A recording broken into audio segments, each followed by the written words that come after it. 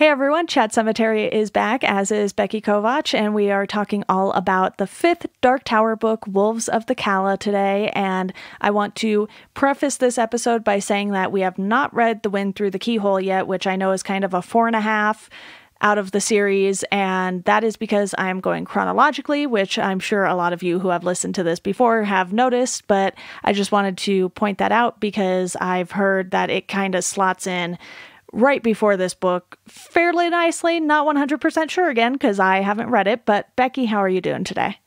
I'm doing good. Um, a little tired. Been kind of a long week as we were just kind of talking about, but um, doing good. Excited about Wolves of Calla because this so far is probably my favorite book in the series. Um, I also have not read Wind Through the Keyhole, so um, no spoilers there, thankfully. But yeah, how are you doing? Not bad. I am chugging away on the uh, seventh book, and it's long. yeah, you're way ahead of me because I haven't even read um, the sixth one yet. So, well, see, the good thing for you is that you don't have to do this podcast weekly. This this is true. You have a lot more work ahead of you. I just get to jump in where I want to, and that's kind of nice. It's perfect. Before we dive into the story, though, I would like to point out the fun fact that these chapter titles use the same font as the Harry Potter chapter titles, and once I saw it, I could not unsee it, and it drove me crazy until I figured it out to the point where I literally pulled out one of my Harry Potter books and was like, "This is the same." I didn't even notice it until I saw you post about it online, which, like, I love the Harry Potter books. Everything else problematic about J.K. Rowling aside, I love the Harry Potter series. So the fact that I didn't notice, I'm kind of disappointed in myself. I but, was a little surprised you didn't notice either. I was like, wait, I feel like Becky's the person who should notice this right. out of the two of us. Exactly. Right? Like when you posted it, I had to look back at my book and I went, oh my God, she's right. It was just one of those fun things because then you have the snitches mention in this mm-hmm. too later on. And I was like, Stephen King loves him some Harry Potter. Apparently. Or wh- when did this when did this come out versus when did the Harry Potter books come out? Which one came first? I think the Harry Potter books came first because if I'm not mistaken, those started in like the late 90s and this was a 2003 release, I believe. Yeah, you're right. That sounds about right. Yeah. So this came out like in the midst of the Harry Potter books, if I'm not mistaken. I don't know if they were finished by 2003, but it's like right around that time period where you're like, I don't know. I was 10. yeah. I, cause I started reading the Harry Potter books when I was like eight or nine, and Wolves of Calla came out when I was like 11, if it was 2003. So yeah, it's like they kind of overlapped, I guess. Yeah. And for my copy, I had illustrations which were done by Bernie Wrightson, who is a fantastic artist. And unfortunately, your book did not have those. So I'm a little bummed you didn't get to see those. Me too, especially because it means I had 920 pages of straight text. To be fair, they didn't count towards the page count. Okay. But it was still a nice little, hey, look at this. yeah, it would be nice to just have that to kind of break things up because um, this is definitely a hefty book to dive into. Yeah, you said your copy was about 900 ish pages. Mine was somewhere in the 700 range because I had the hardcover versus you having the paperback. And mm-hmm. page numbers always change when you're changing the size of the book and the format of the book. But I think what this story does well is it kind of keeps the story centralized again. They don't go very many places. They, I mean, they do and they don't. But the thing is, like, the whole ka-tet is fighting against these Doctor Doom like looking wolves. And as soon as I saw the illustration, because there was an illustration of one of the wolf bots in this, if you will. And I was like, that looks exactly like Doctor Doom. and then yeah. later at the end of the book or towards the end of the book, it specifically mentions Doctor Doom, and I was like, oh, okay. I, I, see what you did there, Stephen King. You're throwing Harry Potter at me and Marvel. Yeah, because then um, he throws a, like a few weird references that kind of like bring it back to what I guess I would consider like our world. Because then the wolves also have things that are they sound like they're very reminiscent of like lightsabers. Mm-hmm. So between that and the snitches and the Doctor Doom robots. Like he's really just throwing everything in. Especially since we came from The Wizard of Oz. Yeah. It's it's a lot of jumping around from fan, fan fandom to fandom here. Yeah, and there's another character in this who plays a big role, and that is Father Callahan, who comes from the Salem's Lot novel, which is King's second published book. So I read this quite a while ago, and I was like, I know the name, but tell me more. And Becky, I know you haven't read Salem's Lot. So for you, what was the integration of Father Callahan like? Was it confusing? Was it one of those things where you're like, oh, here's a king connection that I don't really understand, but we're just going to roll with it? Yeah, I I mean it didn't it didn't even register with me until they kind of revealed that at the end of the book because having not read it like I wouldn't have recognized the name of like I wouldn't have recognized his name or the name of like where he's from, which is Salem's Lot. Um so for me, I just kind of saw him as another character that they introduced to kind of further the plot along. And throughout the book, um, Roland especially makes kind of notes to himself that it seems like Father Callahan is meant to be a part of their ka-tet. Ka-tet? I don't know how to say I that. don't know which it is either. Still. um, so in my mind, he was just like, oh, here's another character who's going to play a role somehow in like the rest of their story and then at the end of the book, it throws in that kind of fourth wall break where it's like, oh, he sees Stephen King's book, Salem's Lot, that kind of describes the story that Father Callahan has already told us. Leave it to Stephen King to insert his own books in his other books. yeah, right? The funny thing is that he makes so many connections in all of the books, especially ones that tie to the Dark Tower. And I actually recently started making YouTube videos and did a video on what my preferred Dark Tower reading order would have been had I not been doing things chronologically. And I did leave out a big book because it has a connection to the Dark Tower, but it's not one that I think people need to read all 1100 plus pages of it in order to understand the Dark Tower because you certainly won't be reading it anytime soon, right? Probably not. Yeah. So even if you don't read all of these little stories or other novels that somehow tie into the Dark Tower, if you read the main seven books and then The Wind Through the Keyhole, if you wish, and I know you will read that one at least. Mm-hmm.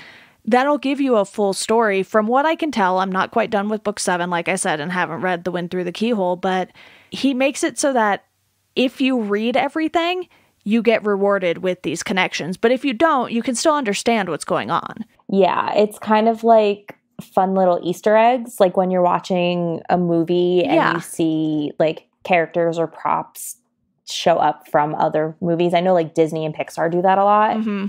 Um, so that's kind of what it feels like he's doing here by throwing in all of these other little things.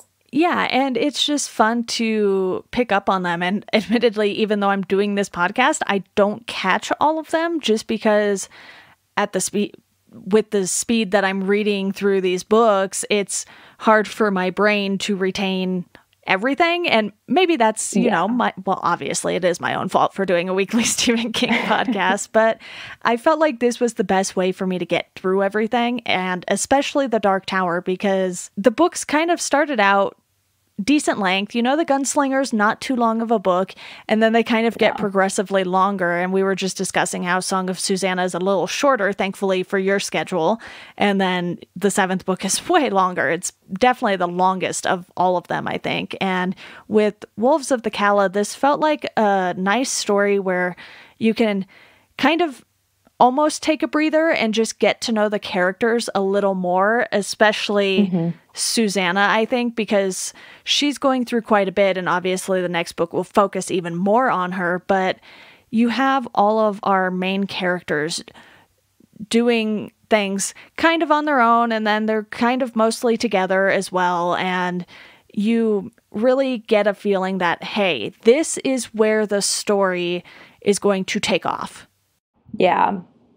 Um, and this is definitely, I think I said it before, this is probably my favorite of the series so far. It feels like it's got the best pacing too. I never felt like anything was really dragging out.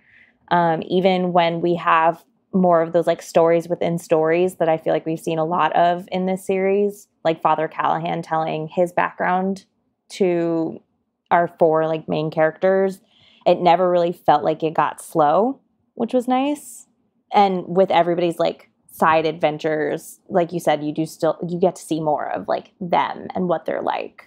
I want to focus on Susannah Little though because we already know about Detta and Odetta, mm-hmm. w- what have you. And then we find out about this other personality, Mia, during the time we spend with them in this novel. And Susannah has been impregnated by the demon, but because of the condition her body is in, she is not able to necessarily carry the demon baby on her own. So Mia shoulders that and it's really interesting how they introduce that personality and how it changes Susannah's behavior so much because we're used to seeing the other personality at this point. Yeah. You know, we're five books in now, and then they throw a wrench in it with another personality on top of that. Right. Like at this point, we think that Susannah's been fixed. She's been made whole. Like she is no longer split between Odetta and Detta. She is now just Susannah. And then we find out there's this other personality kind of lurking beneath. And the way that they introduce her is Roland following her through the woods when she wakes up as Mia one night to feed this baby, the thing that she calls the chap that's like growing inside her. But it's weird because she's not really showing any signs of pregnancy at this point. Like she hasn't grown at all. She's still getting her period, which is like, why would anybody think she was pregnant at that point? Yeah. Then again, it's a demon baby. I guess it screws things up. Yeah, the rules are probably a little bit different. There are none. exactly. Um, but like Roland, being as observant as he is, has noticed that she's a little bit off. There are nights where she like rubs her temple, like she's getting a headache almost, and then like her movements get a little bit jerky. She just like something about her changes and he knows that those are the nights where she's going to wake up as Mia and go off and like feed and like in her mind she is in like a banquet hall and eating these grand great things but in reality she's like popping the heads off of frogs and eating their guts. Sounds so fun.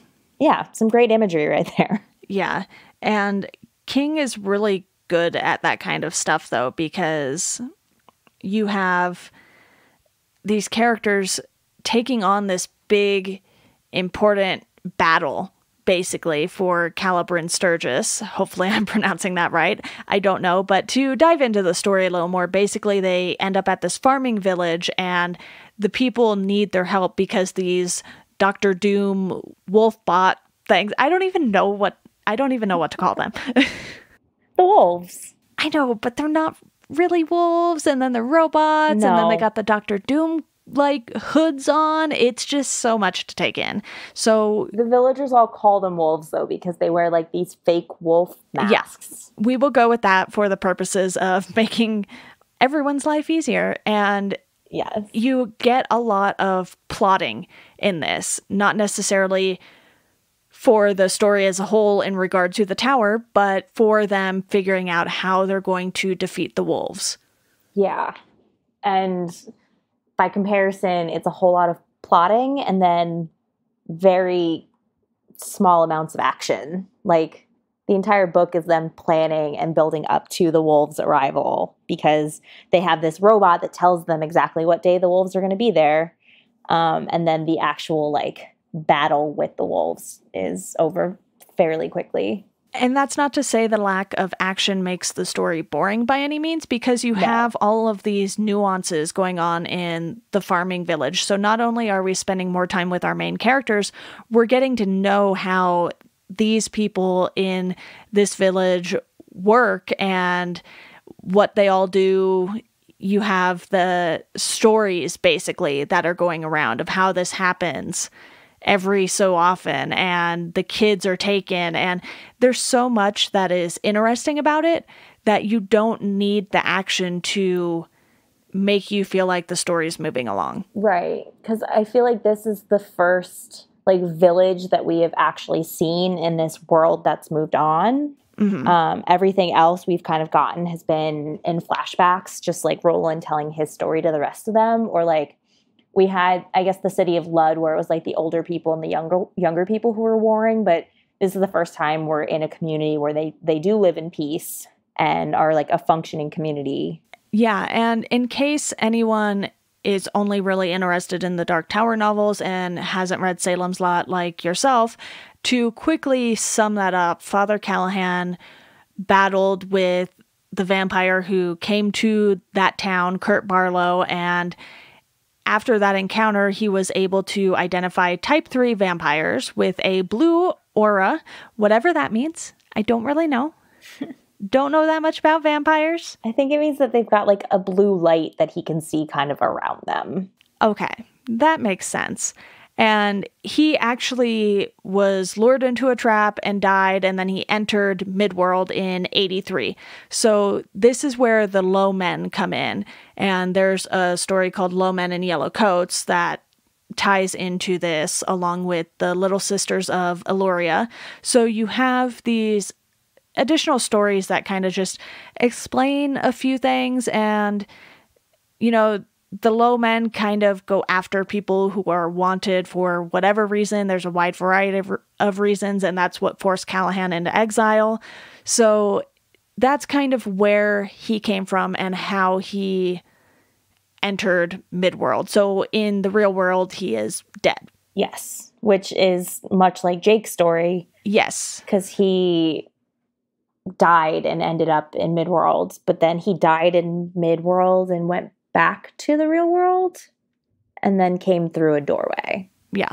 So that's the gist of how Father Callahan came to be in Midworld, and he's someone who kind of helps our main characters navigate through this whole thing. And he's kind of a pain at times. Sometimes he's helpful, sometimes not so much. Yeah. I kind of like Father Callahan though. Yeah. Um, he also he's got one of the the glass balls. Right. Black 13. Uh yes, which there it's like the the wizard's rainbow, right? And there's there's 13 of them. This is the last one and the most dangerous. Yes, that is correct. My brain was like, that sounds right. yeah, that sounds right.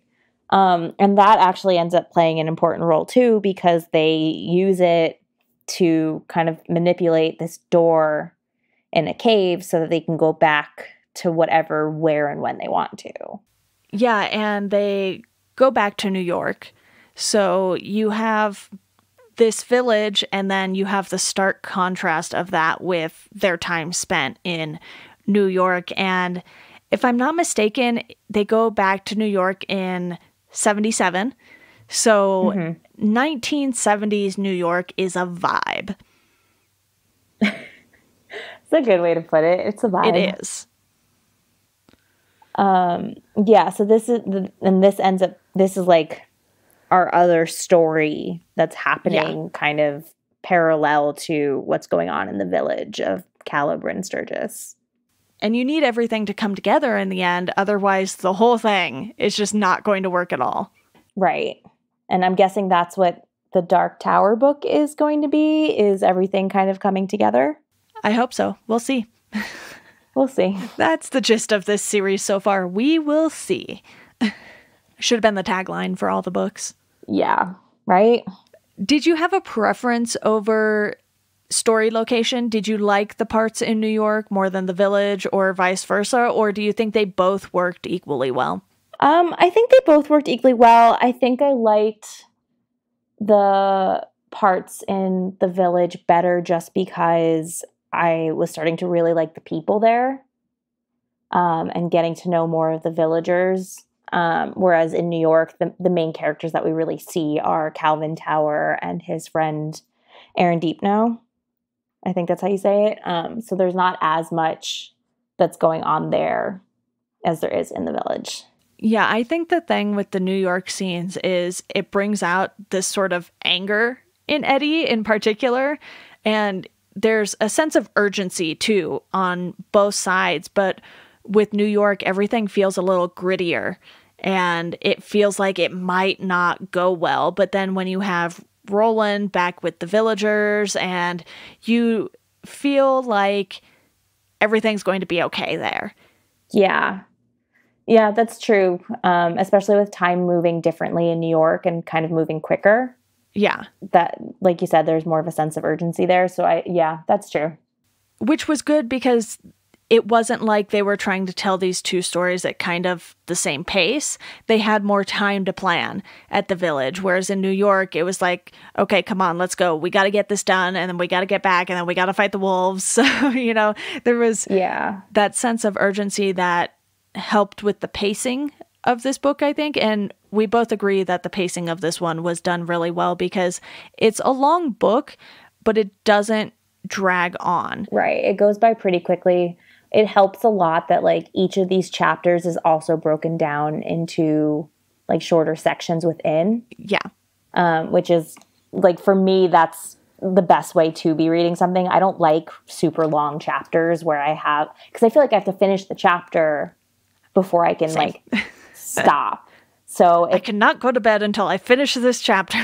right. So if a chapter is like 30 pages long, that could take a little while, but if you have these smaller sections that are more of a natural stopping point, it's a little bit easier um, and seems it seems a little less daunting too. Yeah, because they almost act as scene changes. So it's like, okay, we're going to visit with Eddie in New York for a little bit, and then we're going to pop in on the village, and then we're going to kind of go back and forth. So it makes it easier to be like, okay, I got to this point we can pause, you know, we can eat dinner, we can do some, something else for a little bit.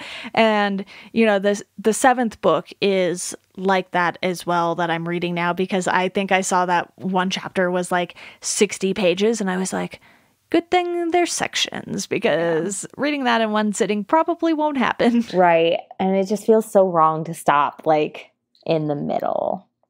Yeah. So, very thankful for that. I am glad we read the same weird way. I feel like a lot of people probably read that way. Or I don't know, maybe, I hope so. maybe we just have short attention spans. Yeah. I was telling you I read like 120 pages of the seventh book yesterday and my brain felt like mush after reading that much of it in one day. And I was like, okay, you know, because I'm trying to get through it, but I want to understand it too. Right. And I think that's one of the things with Stephen King with this one in particular, I felt like it was easy to understand what was going on. Yeah. Because there were moving pieces, so to speak, but there weren't so many to where you were bouncing around all over the place. It's like we mostly have our two locations. We know what's going to happen. We know this battle is coming. We don't know the outcome yet, but we know it's coming. Right. There's, yeah, like you said, there's a lot less moving parts. There's a lot less like conflicting storylines. Like some of the earlier books, there was a lot of back and forth between past and present. And it got to the point where it was a little bit confusing, and I was never quite sure where we were at any given time. Mm-hmm. Um, whereas with this, it's a lot more straightforward. There isn't as much of that bouncing around. And other than the two storylines in Calla Bryn Sturgis and New York, the only other story that we really get is Father Callahan's. And that comes and goes pretty quickly, and then you're done with it. Yeah, with the Dark Tower series, what King loves to do is have characters tell stories. Yes.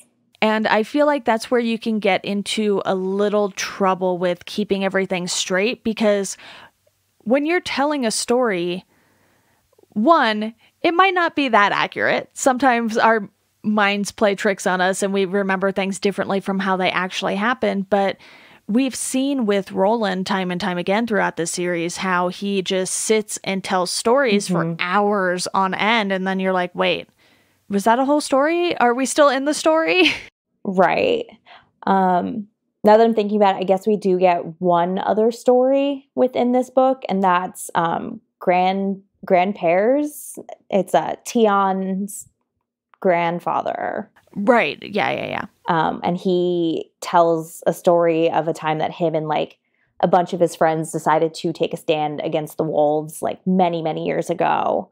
And one of them actually managed to kill one. And he tells the story to Eddie and tells Eddie what it is that they saw when they removed the mask. And that's when Roland is kind of able to start formulating this plan of how to defeat them. Yeah. And you have other elements that come into play in this story. So you have Benny Slightman's father, who winds up being the traitor, and yeah. you have that whole kind of side story that very much applies to why the whole main story is happening, but it's something that kind of takes you away from what's coming and Roland has to deal with this situation and he doesn't deal with it in the way you would expect Roland to deal with it. No. You would think that he he would just kind of sentence the traitor to death almost. Yeah. Um, but he actually responds pretty like sens- sensitively to the situation hmm and spares him. And I think that has to do with the fact that Jake is kind of growing on him. Yeah. We start to see Roland have a lot more like emotion in this book hmm and can kind of see him softening as a result of his time with the other three.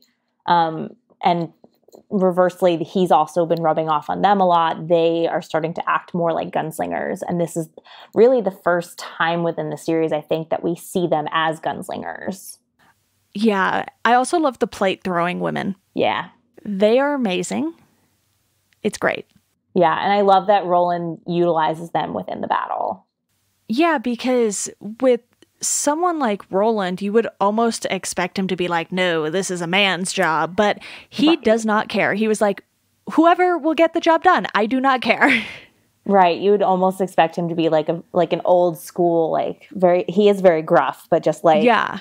no, woman's place isn't on the battlefield. But no, he actually like he's the one who thinks that it would be a great idea to have them get involved. He organizes the whole thing and like the whole plan is his. Yeah, I want to talk a little about the children and, in particular, the brother and sister who kind of get stuck when Jake is helping all the kids get to the rice patch, I believe it is nearby.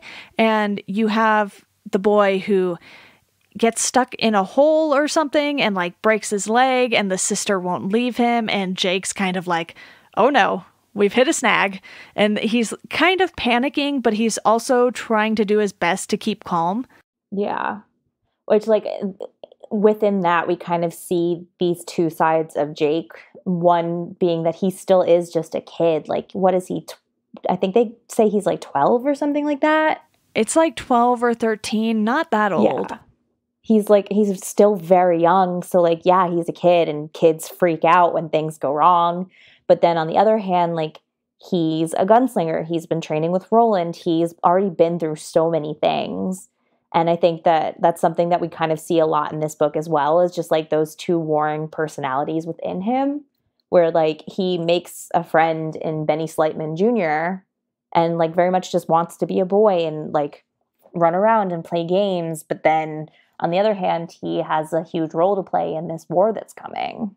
Yeah, it's really interesting how they utilize Jake in this too, because he's given more responsibility than usual. And you know that they all have this sort of connection. So he doesn't just completely freak out. He tries to kind of rationalize his way through things. And he's like, okay, you know, you do this, you do this, and then we'll lift. And he's trying to figure it out. And Roland knows that something has gone wrong. They Right. can, him and the others can sense that, but he's just kind of like, Jake can handle it. We'll let him deal with it. And I think he instills confidence in Jake in that moment to figure it out and get the kids through this. Right. And and that's part of them just being like ka-tet too, is being able to sense things about each other. And Mhm. with Jake especially, that that seems to be like a very strong gift that he has. Yeah. Um, so we also see him kind of stepping up when he realizes that like something's wrong. Like he sees Susannah as Mia in like a dream one night, and he approaches Roland and realizes that Roland knew, and he's the one who kind of tells Roland off for not telling the rest of them and for hiding it for so long. Yeah. Do you have any moments in particular that really stood out to you during this? Um, I'm trying to think. Not necessarily moments, but um, I think I said to you earlier before we started that I wanted to bring up something that I noticed as I was reading this. There's some like weird parallels to the Lord of the Rings books. Tell me more. Um, so for starters, you have this like group of people who are on a quest together to find some place that is of great importance. So, like in Lord of the Rings, you have the Fellowship of the Ring traveling to Mordor to destroy the ring and save the world. There's also the Crimson King that they talk about in this book a lot, especially. And like the eye of the Crimson King, which always just made me think of like the eye of Sauron. So it just, and like the Dark Tower, like the Lord of the Rings, like the two towers, like it just, there was a lot of things where I was like, wow, I feel like I'm reading another version of Lord of the Rings. so I have a quick confession to make after listening to you talk about that. I have seen the Lord of the Rings movies, have not read any of the books. Okay, but like you get those That's a lie. I've read The Hobbit. You get those references though. Yeah, I mean, I have the books sitting on my shelf. It's just a matter of me actually getting to them. Because as you know, Becky, and as some of the listeners may already know, Stephen King writes very long books. Yeah. And writes a lot of them. so many, so many. I think at this point I have read somewhere around 45 of them. Wow. Yeah. I got nothing to say other than wow. um, but yeah, that was that was something that was definitely in the back of my mind a lot as I was reading through this was all of these things that just like made me think of the Lord of the Rings series as I was reading. I guess in terms of like a specific moment that stood out for me was definitely when Benny Slightman Jr. dies. Yeah. Because it was just so devastating. Like this young kid, his father was a traitor to the entire village for the sake of saving his son. And then his son does not survive. It's almost like that was the father's sentence. Yes. Very, yeah, very much so. Like Roland didn't have to punish him because he ended up getting punished enough. Yeah, because that's like the ultimate punishment for a parent. Yeah to have to bury a child. And like the the way in which he dies is just so horrible. Cuz it's not just like he's shot and like it's quick. He is blown up. Like the way they just they describe like the the snitches is like you implode from inside. Like just not great. Yeah, one thing we haven't touched on just yet is the doorway cave. Yeah, we haven't touched on that specifically um, but that that's like how I guess that's how they go back and forth to New York, right? Yeah. So you have them coming and going through that when Eddie has to go to New York and take care of things, but then you also have that as the place where the Black 13 was found. Yes. And where where Father Callahan, yeah, yeah where he comes through. Right. So that's kind of his entryway into this world. And then it's also where Susannah flees. Yeah. Um, and they talk a lot about how before the doorway appeared, it was the Cave of Voices.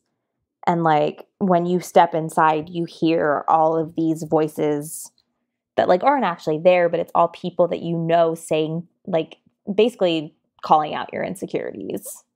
Yeah. And you have the fact that when Susannah, or technically Mia, flees, the guys go to follow her and then it's like the door's closed by the time they get there. So they just miss her and obviously eddie is like we have to go we have to go we have to go get her. And you know he's like panicking about it. And roland understands but he's kind of like yeah but the tower. Yeah. And this is where we kind of see the old roland return a little bit where like he's not he hasn't gotten as soft as he might seem at times. He still is very just he's on this quest to the tower and that's the only thing that matters to him. Yeah, and I also want to talk a little more about Calvin Tower because one, I wish that bookstore was real and I can go into it. Seems like a fun bookstore. It does. It does. And that's where Father Callahan sees Salem's Lot. Yes. And he's like, oh, this Stephen King dude. He wrote my story. Yeah. Can you imagine walking into a bookstore and seeing a book that's literally your life? that would be boring. It'd also be trippy. In my case. but it's one of those things where Stephen King gets very meta. It's not the first time he's put one of his books in another one of his stories, but it's the first time you've had a character interact with their own story. Okay if I'm not mistaken, because sometimes he'll toss in little lines like, oh, and the security guard was reading Dolores Claiborne or whatever. You know, it's something along those lines. It's always just like, hey, this person was reading a book. But in this instance, Father Callahan is like, you know what? This story seems familiar. Yeah. And it's like, oh, right, that's mine. Yeah. So it's very meta. It's very Stephen King of him. Yeah. It's very cerebral. Yeah. And sometimes I'm just like, why? Why though? Because he's Stephen King and he can. And that's the only answer I have ever come up with thus far. So there is no explanation. we are clearly on the same page there, but I just wanted to quickly bring that up. And Calvin Towers, a pretty stubborn man. Yeah. And as someone who has a lot of books in the room that I am sitting in, I kind of understand, you know? I don't want people messing with my books. Right. And especially like his one condition for like leaving New York after Eddie goes to speak to him about selling the lot is like saving all of his valuable books. And like, I do kind of get it because when you are a collector who cares so deeply about something as he does, like those things become so important to you. You don't want to lose them.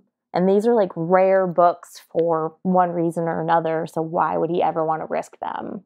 Exactly. And while most of my books are not super valuable. You know, it's like they mean something to me. So there are certain ones I want to keep. There are certain right. ones that I'll probably read and let go of because I have five bookshelves full of books, and that is so many, so many books.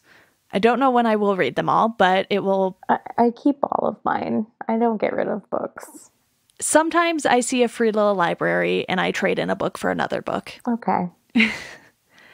but there are some where it's just like, you know, I'll I'll definitely keep all of the Stephen King books because there are some that I'll probably want to go revisit at some point when I don't have to read them for the purpose of this podcast.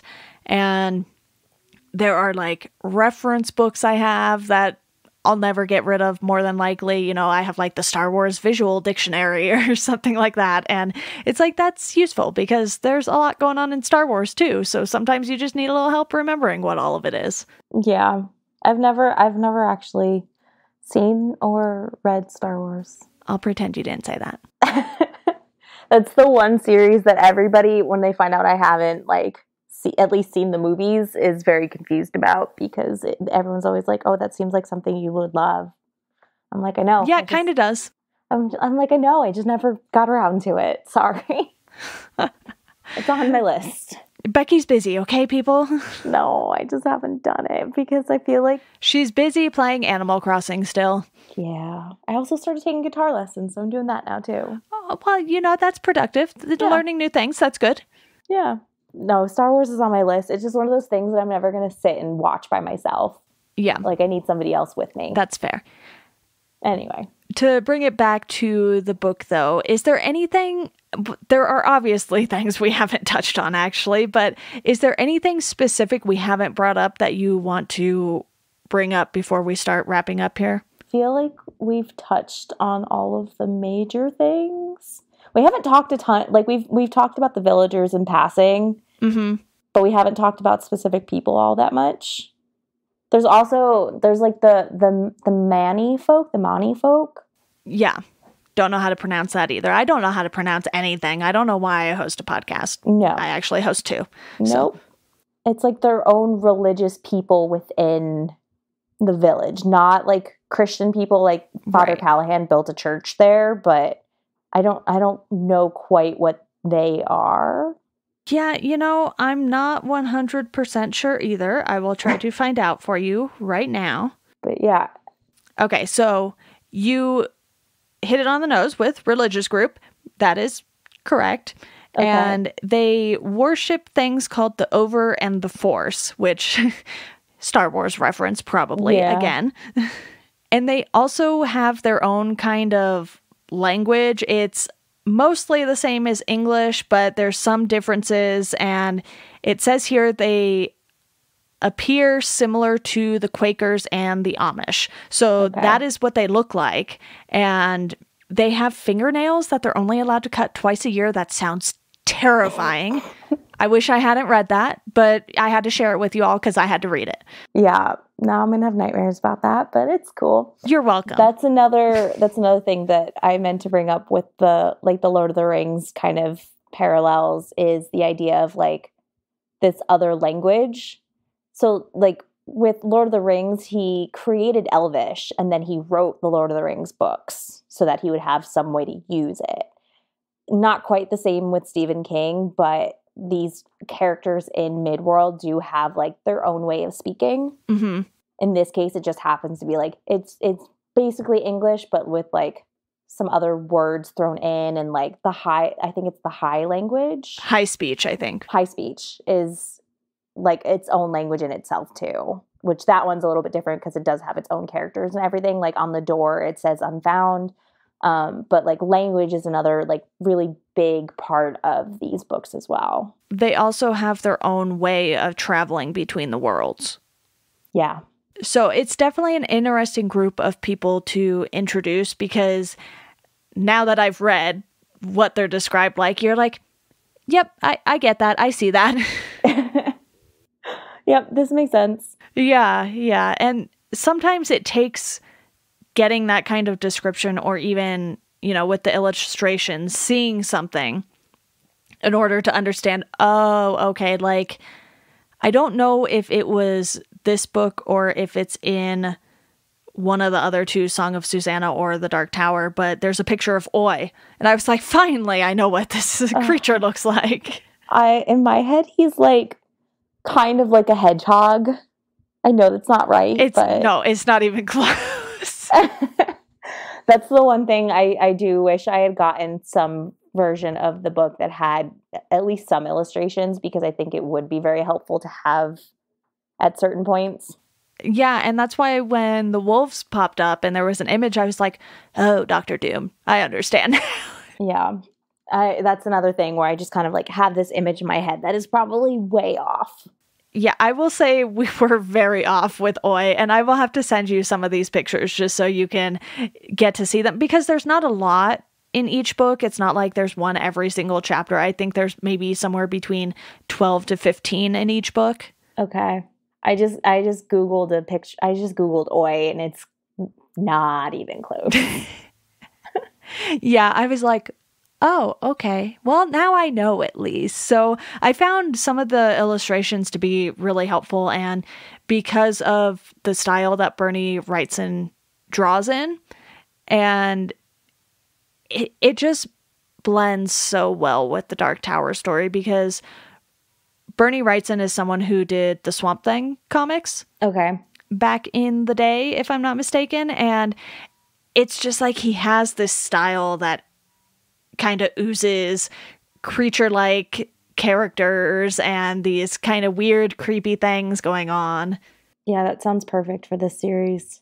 Yeah. So, is there anything else you want to touch on? Like I said, there's so much with these books. We could probably sit here with the books in front of us and go chapter by chapter and be like, and there's this, and this, and this. And then this episode would be eight hours long. Yeah, you could do a whole series of episodes on every single one of these books because there's just so many things to unpack with each one. But um, I think I think we have covered the general gist of everything. Yeah, I think so too. And like you said, you could break this down and do one or two chapters an episode and still probably not cover everything because, you know, I've listened to some episodes of the Ringers podcast binge mode where they were going through the Harry Potter books every two or three chapters at a time, give or take.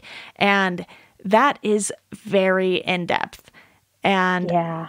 I don't think my brain could handle doing that for the Dark Tower because it might break my brain. No. Yeah. With Harry Potter, I feel like it's a little easier because those are kids' books.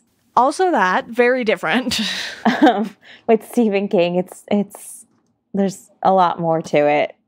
I have honestly felt like my brain has been melting while I read the seventh book. So I don't I don't know how you're doing this. So I don't either. I just, I don't think about it. I do think about it all the time, actually. That's a lie. I was gonna say not thinking about it is probably the best way to go.